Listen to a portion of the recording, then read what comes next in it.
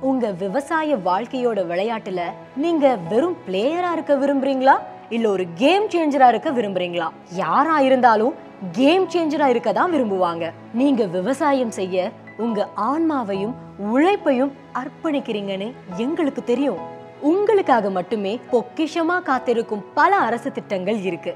நீங்க செய்யும் விவசாய முறைக்கான சரியான அரசு திட்டத்துல உதவி பெற்று விவசாயம் செஞ்சீங்கன்னா நீங்களும் ஒரு கேம் சேஞ்சரா மாறலாம். அதுக்கு முதல்ல என்னென்ன அரசு திட்டம் இருக்கு? எது உங்களுக்கு உதவும்னு தெரியலையா?